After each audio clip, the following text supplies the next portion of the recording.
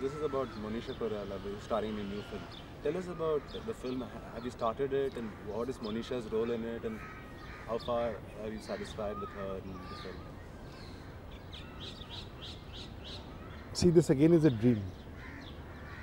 Uh, Daman is a dream, and I think uh, unless everybody respects that dream the way I dream it, that high will not come when you see the final film on screen. So it will take me time for people to to respect my dream, whether it is Manisha or it is the producers or anybody else. You know, I think they have to respect this dream. Okay, this dream is really valid for the country and valid for as a statement in art. So I think it will take time even in Manisha because today she's at a high. She's very busy and uh, although she's committed to the film, but she has to put in a lot more effort into becoming that character. So that is a struggle that we have to, I have to slowly uh, go through to make her get into that role because it's, if she does this role, it's going to make her a legend, you know. So I'm just trying to see how committed and how involved she can become, and uh, uh, it will take a little time. I think. But uh, as far as finances and other things go, you don't think it's going to be a problem for this film? Well, uh, Gramco Films are producing it.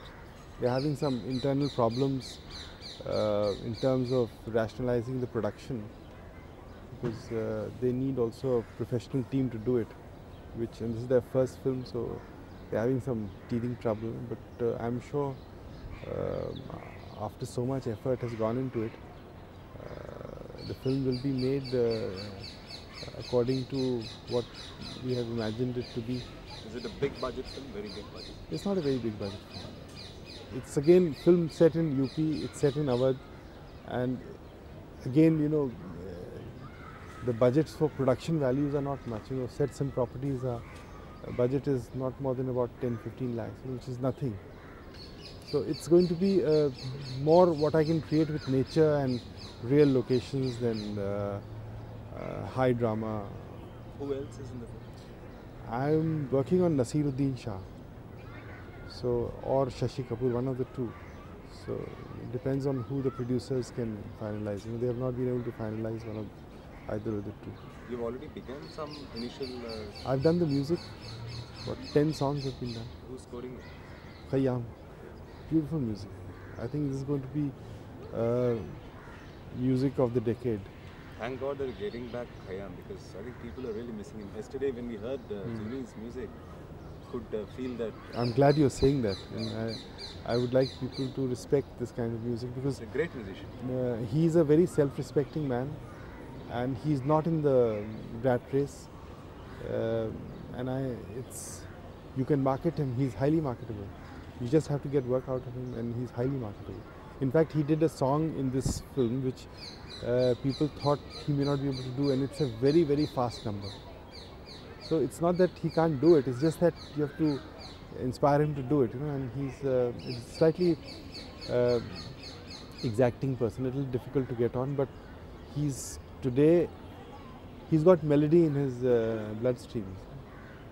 But uh, say uh, if we go back uh, in time, films like Gaman, Anjuman, you didn't think of them as magnum opuses. You want you were they were, they were more personal, individual kind. They're not even personal. Uh, Anjuman was more social. See, uh, my after Umrao I made a film called Agaman, which was uh, dealing with the sugar cane problem of the sugar cane growers. And I tried to give it a kind of a lyrical approach by using poems by Faiz and by giving it very stylized kind of visual treatment and uh, music. Uh, but it was based on a, a social issue, which is a burning issue today. The problem of sugarcane growers in my area is a very, very valid thing, and I wanted to do it. And I feel uh, it's a very important uh, statement of my life. I mean, it may not uh, appeal to a larger section of uh, synagogues, but for me to understand the sugarcane growers' problem and put it on celluloid is a very big opportunity because entire UP is run by cane politics. huh? Then similarly, Anjuman was a was a film on the exploitation of the chicken craft, uh, and that again I felt was a very very uh, sensitive social problem and I tried to give it a, a lyrical approach. Uh, so I try to give, uh, I try to do these kind of films which are not magnum opuses but, uh, but go into the beauty of the small thing you see. But I think my strength lies in creating grandeur and uh, being a painter, being uh, uh, very close to music, very close to poetry. I think uh, creating a, a, grand film is really what I'm made out to be and cut out to be. Now, if we, like, there is one aspect of you where you're socially concerned, the other one is the poet in you. You think you're able to merge both of them in your films? Yeah, I think uh, uh, the poet in me is uh, is really uh, kind of a. Am not a poet myself, but I think like a poet, and I've been inspired by revolutionary poets like Faiz Ahmed Faiz, and I think there's a lot of Urdu poetry which has been uh, triggered off by uh, social circumstances, a dream to create a uh, egalitarian society, a dream to uh, foster human brotherhood and equality of man. So there's a lot of Urdu poetry which is based on these kind of feelings, you know, modern Urdu poetry, and earlier Urdu poetry which is based on the concept of love, you know, concept of the beloved. So all these things somehow uh, I find uh, uh, become very uh, uh, real issues for me and they become my vocabulary for making a film also. In both Umrao Jaan and Zuni we see that the woman is the central character. is it because you have a great regard for womanhood and you think they need to be projected? I think uh, it's also one on one hand the way uh, my uh, mother looked at uh, a social situation. And uh, she it was a feminine view of looking at society a very intense view a very detailed view a very humane view. And I think that began to create a kind of a viewpoint for me. And the second thing is basically my cultural conditioning where uh, a lot of poetry is addressed to a uh, to a woman you know and uh, the beauty of a woman, the attributes of a woman, all these things become very important. And uh, but I have created a little difference in my films.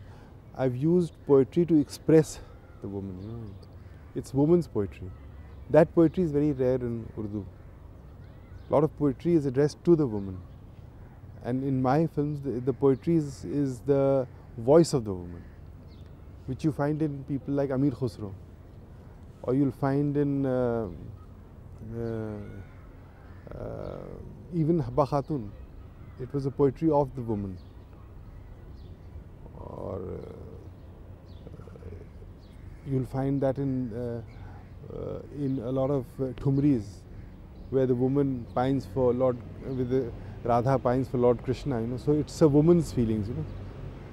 So uh, I think that is uh, a very interesting influence of uh, Indian culture, you know, and um, it's a, uh, I think the synthesis of uh, of the Persian and the uh, and the Indo-Persian culture, you know.